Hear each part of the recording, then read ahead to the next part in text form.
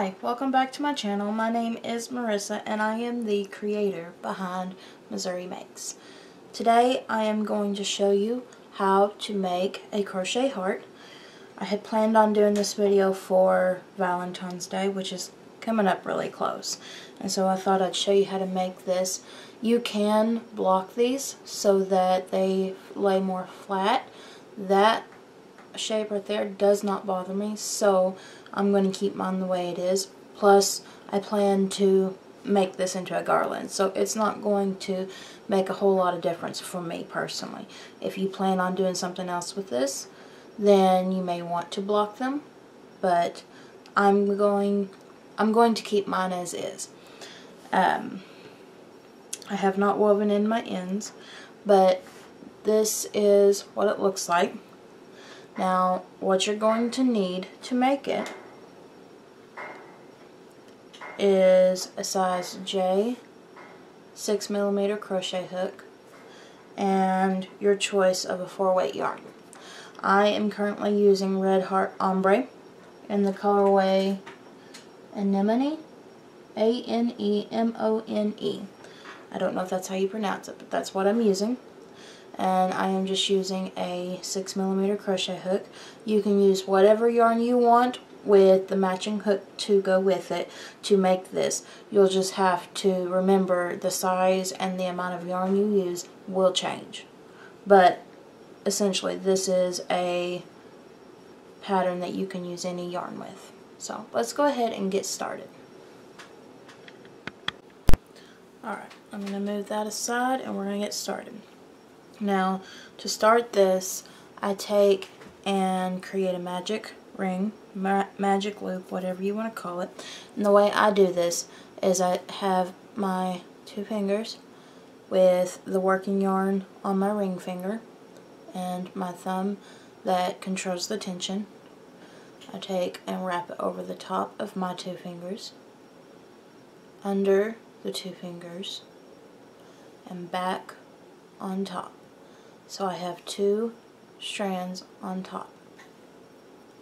I'm going to take my hook and I'm going to go under the first loop, over the second loop, pull through, give it a twist, and then I'm going to take this working yarn here.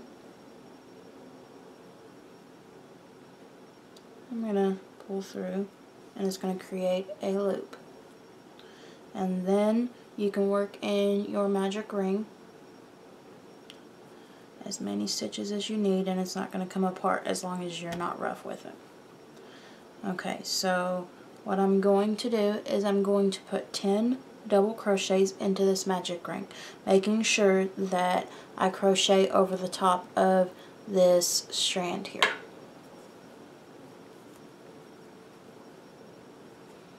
So one, two. I pulled on it a little too much. Three, four, five, six, seven, eight, nine, ten. And then you take this loop here, pull on it, and it cinches that hole closed so that it's not visible anymore. Now to figure out where you're supposed to slip stitch, which would be your first double crochet, what you're going to do is you're going to count back. One, two, three, four, five, six, seven, eight, nine, ten. And there's your loop that you're going to slip stitch into. So, put your hook back through the loop and insert your hook into that first stitch that you created, which is the double crochet. Pull up a loop, oops, pull up a loop, and slip stitch to it and you have completed round one. Now to start round two, which is your last round for your heart, you're going to chain two and then you're going to yarn over twice and place a triple crochet into that same stitch. Now you're going to place seven more triple crochets into that same stitch. So one,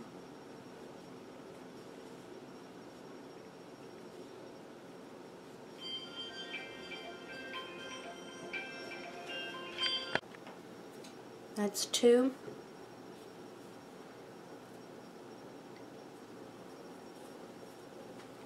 Three.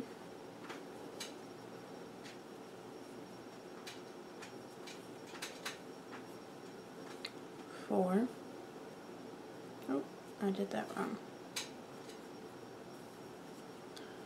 Four.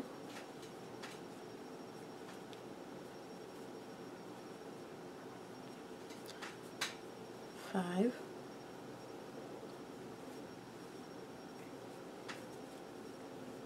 six,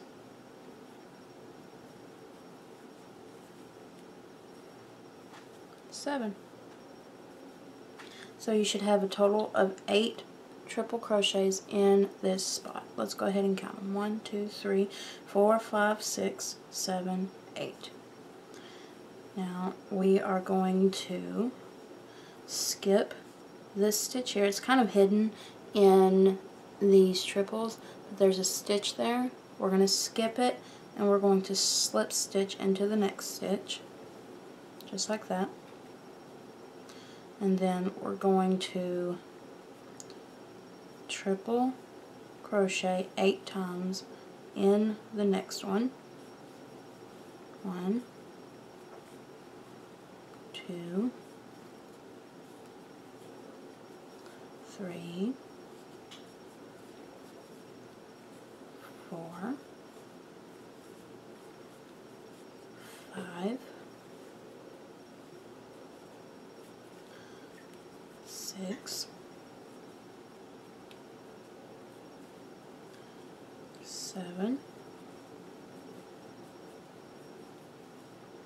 eight. Let's count them to make sure. One, two, three, four, five, six, seven, and eight. We're going to do the same thing as we did last time and skip that stitch there. Slip stitch. Now we are going to single crochet into that stitch. So what we did is we put eight triples in this stitch here.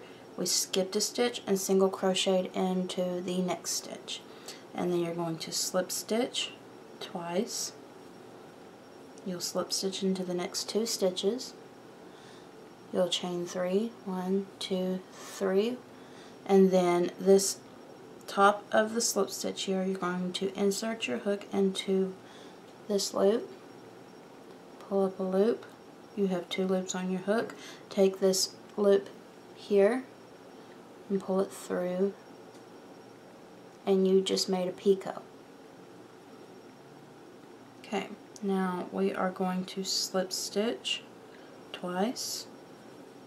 One, two. We are going to single crochet into the last stitch.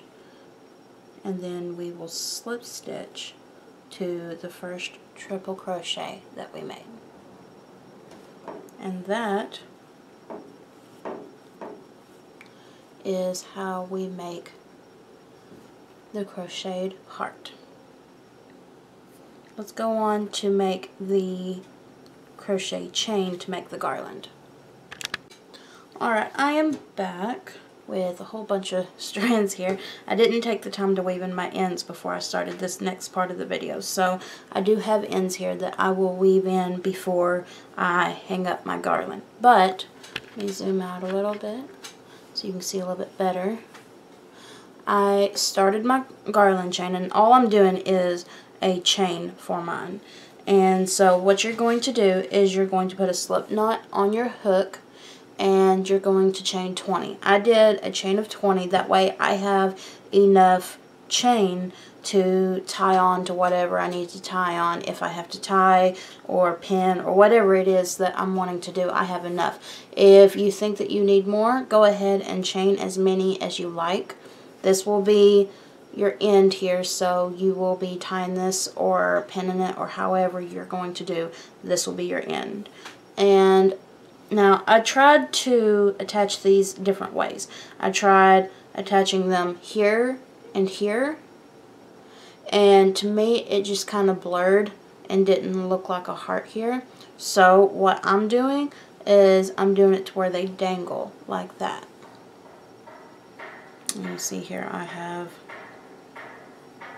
just added another one. Now me myself and I I showed you how to make the one that I like the heart. But I have multiple hearts here and they're all different shapes and sizes because I was playing to see what it is that I liked. I am not going to frog all these back and redo them and I'm not going to waste them. I like them. See, they're cute. I like them, but I just like this one better. So, I'm just going to attach these on like I attach these and pretend they're all the same and not worry about it. Um, but I wanted to do it correctly on screen so that you would have the correct heart. But I do, I just wanted to point that out just in case you look at them and you're like, oh, those are a little bit different size. Yeah, they are. I have made several different ones. See how much smaller this one is to this one?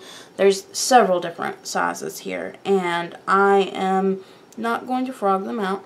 I'm not going to do any of that. Now, the difference between this one here and this one, the reason why it's so much smaller, is this one, we did triple crochets. and this one, I did double crochets. It's the same exact pattern, just this is double crochets and this is triple. So if you want different sized hearts, that's something you can think about. This is double, this is triple. So just something to kind of change things up if you want. Um, like I said, we did a chain of 20 to start and I'm going to show you how to attach the hearts now. Let me get this untangled. Now I'm going to go ahead and zoom back in so that things are a little bit easier to see. There we go. Let's go ahead. I'm going to chain 20 two, three, four, five, six, seven, eight, nine, ten, eleven, twelve, thirteen, fourteen, fifteen, sixteen, seventeen, eighteen, nineteen, twenty. Now, that's what I'm doing, is I'm putting a chain of 20 in between each heart, a chain of 20 at the beginning, so it's an easy number to remember so you don't have to think, oh, I'm going to do five five chains before this one and 10 chains. No, we're just going to do 20. They're spaced out decently and that way we can just keep going. Okay, I've got my chain of 20 and I'm going to count one, two, three, four.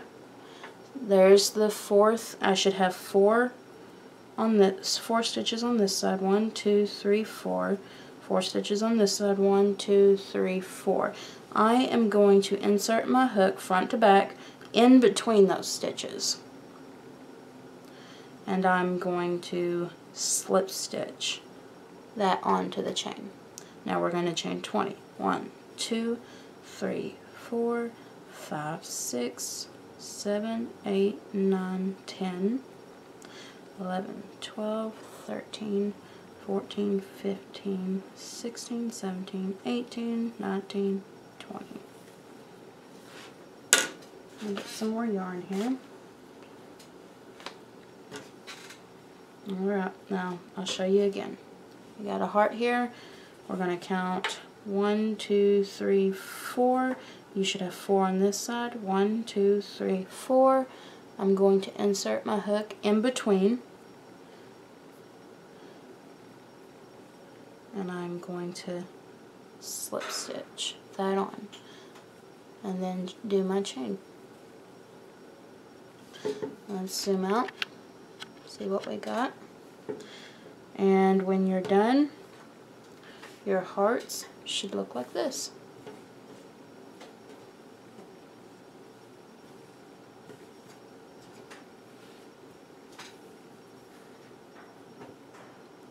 There you go.